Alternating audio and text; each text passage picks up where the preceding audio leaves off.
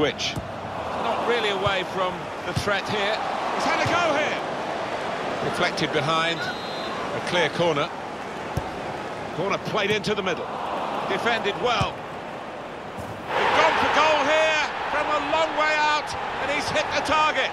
Oh my word, to get the power, to get the accuracy from that distance out, it's just absolutely amazing. Superb shot, wonderful result for him.